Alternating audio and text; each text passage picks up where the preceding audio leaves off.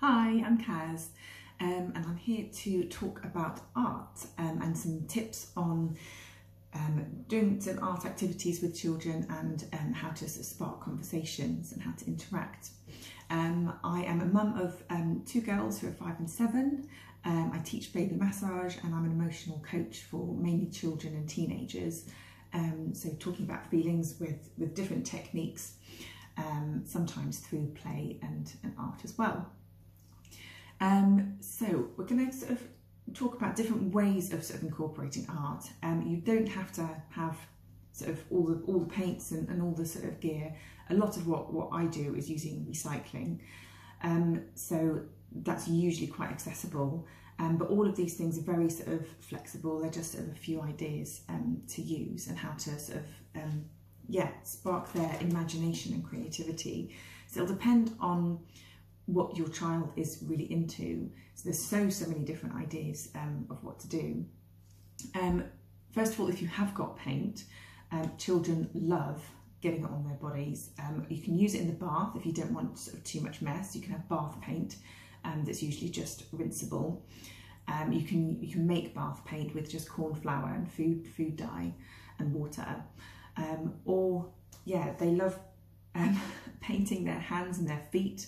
Um, so using sort of handprints and footprints. Um, painting outside can be can be sometimes more fun and less mess.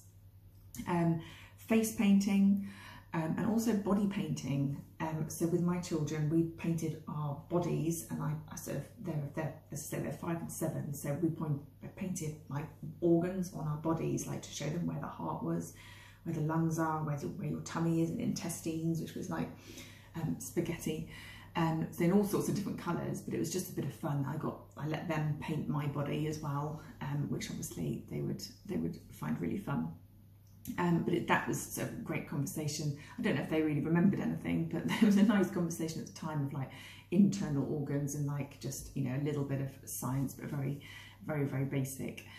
Um, but it might kind of, I think it brought up a few things of where your food goes, for instance, you could sort of draw where your food goes sort of down your body.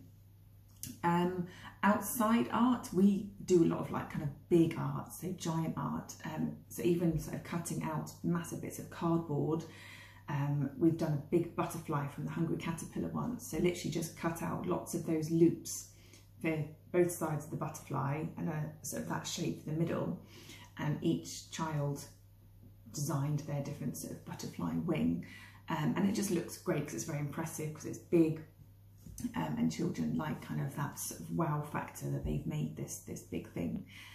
Um, but if you haven't got any paints, it's it's great to kind of just use sticks and stones, leaves.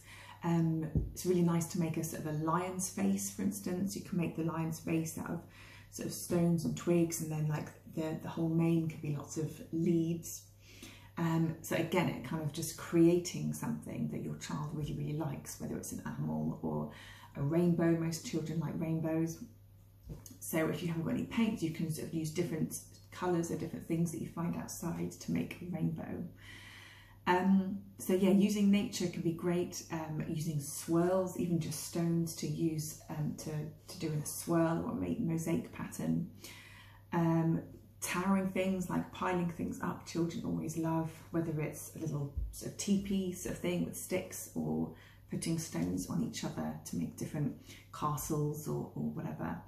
Um, and you can sort of yeah bring up conversations about the story of like why they why they decided to do that. Um, what do you think might happen if you pile up some stones? When do you think it will topple over? Um, that kind of thing.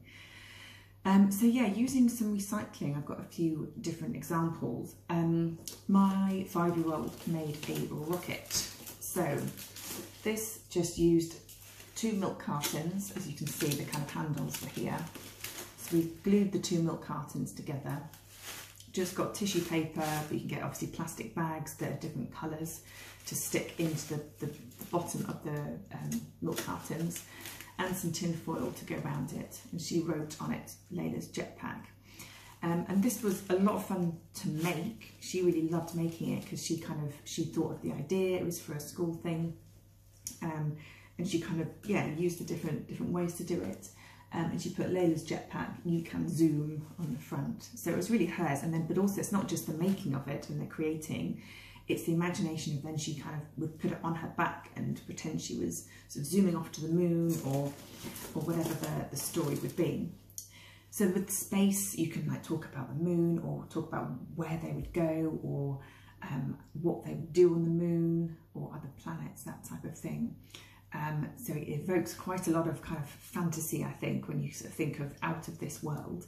Um, and it's a whole kind of subject to, to go down, which is really lovely. A few of the questions could be sort of, um, uh, tell me about what you're doing. Um, I've, I've, done another video with to do with food and water, so I'll sort of repeat a few of the questions um, just in case you haven't seen that one. Um, but yeah, kind of sort of show me how you'd go to the moon and how how how fast do you think you'd need to go. Um, what do you think? Um, what's happening? Those kind of questions. So kind of like what and how questions are really really good to um, to let the child lead and um, use their imagination. Um, another one, these are kind of more anim animally now, so I think most children like animals um, in some ways. So first of all, I've got a really simple one with two paper plates. You don't, you can, you can just use one paper plate really, but we just stuck two together and you literally just cut, cut the paper plate out and cut teeth and then you've made a shark mouth. So you can kind of use this as a, a face, as a shark teeth, um, and it's just really, really fun to make and they've made um, made a yeah a shark. I think most most children are intrigued by sharks. Um, but yeah, you could ask questions about how how sharp do you think the, the, shark's teeth are? What do you think they eat? Um, would you like to be a shark for the day?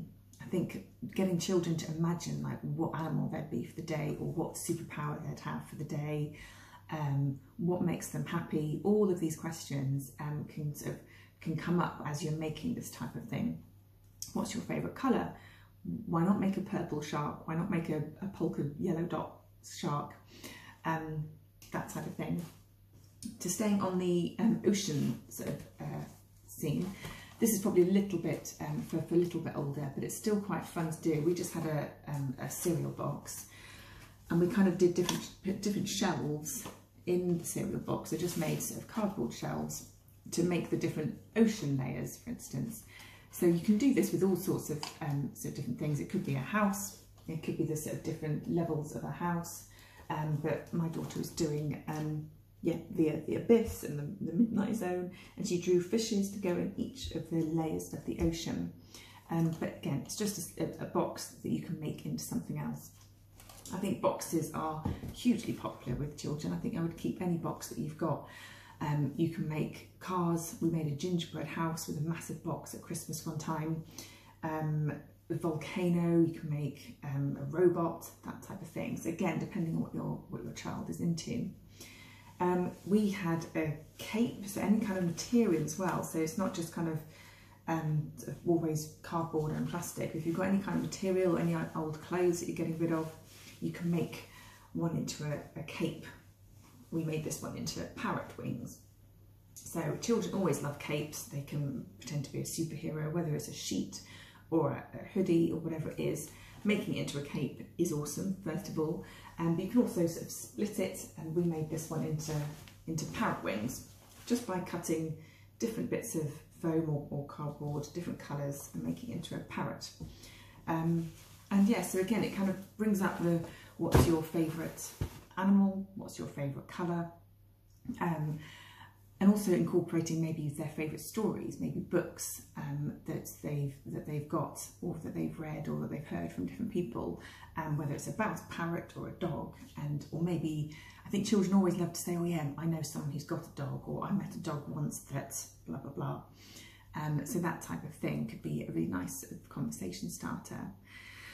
Um, so yeah, it's um, also with, with, stories, it's also kind of nice to um, incorporate music and singing. Um, so if you do get really, really stuck with what to say or what to ask or how to sort of chat with your child, um, think of singing. Um, it doesn't have to be nursery rhymes. It can be your favourite song, whatever you like to sing. Um, and your child will love your voice, um, even if you can't, if you think you can't sing at all, they will love your voice. It kind of makes you feel good um, and you don't get any judgment from your child. Although once my, I think my daughter did at two, she put her fingers in her ears when I was singing, um, but hopefully that wasn't just because of my singing. Um, so yeah, it releases feel-good hormones in you. It also kind of encourages movement and dancing. So you might have a little dance around if, if your child likes a song, they might join in. Um, and if they join in, fantastic, because then you're in sync and you're kind of moving to the same beat and singing the same tune um, and having a little dance, hopefully. Um, so yeah, hopefully that's given you a few ideas um, with art. Um, I think, yeah, just, it, I mean, there's so, so many different ideas with, with art. Um, you, you can definitely yeah, use the recycling the most, um, but use whatever you've got in your house, I would say. So thank you very much. I'm, I'm Kaz. Um, and my website is um, happykindcalm.co.uk um, and thank you very much for having me.